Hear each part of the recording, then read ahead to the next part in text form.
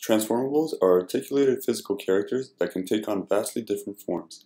Just like this car, it can unfold into a spider and start to walk, and then disguise itself again as a car. In this paper, we present a computational approach to designing transformables.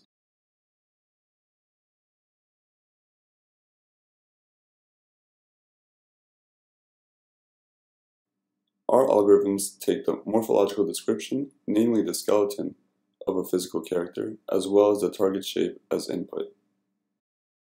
The first stage of our design process is the embedding optimization, which aims to fold the skeleton inside the target shape as tightly as possible.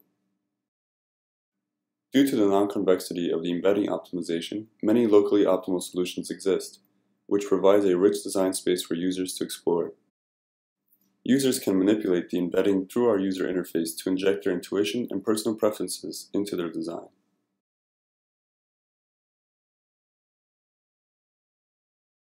Different embeddings result in interesting design variations.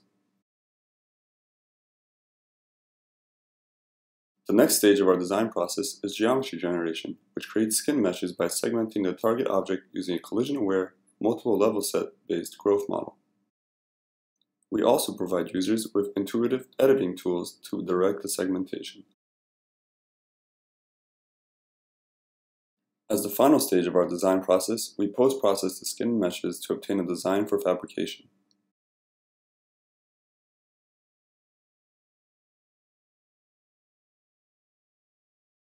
We tested our algorithms on a variety of examples, including different target shapes and skeletons. Here are their folding sequences and fabricated prototypes.